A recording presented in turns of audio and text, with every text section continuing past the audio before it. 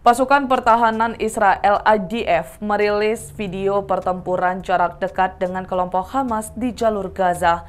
Dalam video berdurasi 1 menit 19 detik itu, terlihat beberapa tentara IDF memasuki sebuah gedung.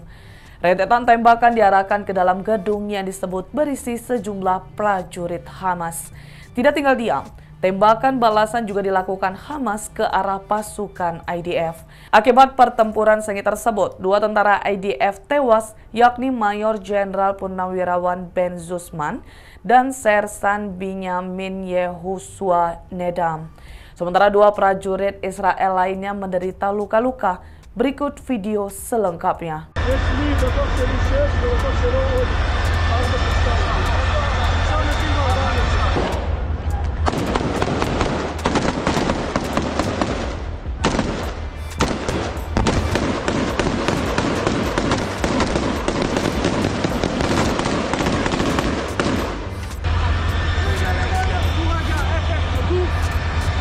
4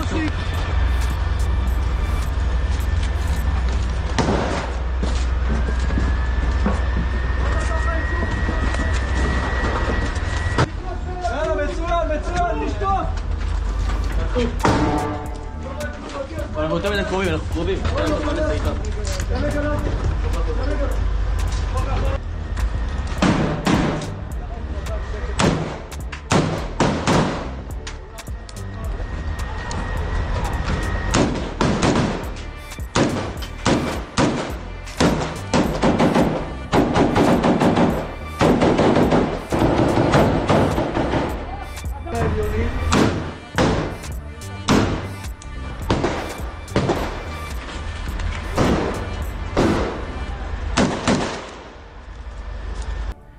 Ikuti terus berita aktual lainnya. Jangan lupa like dan share seluruh akun Tribun Medan.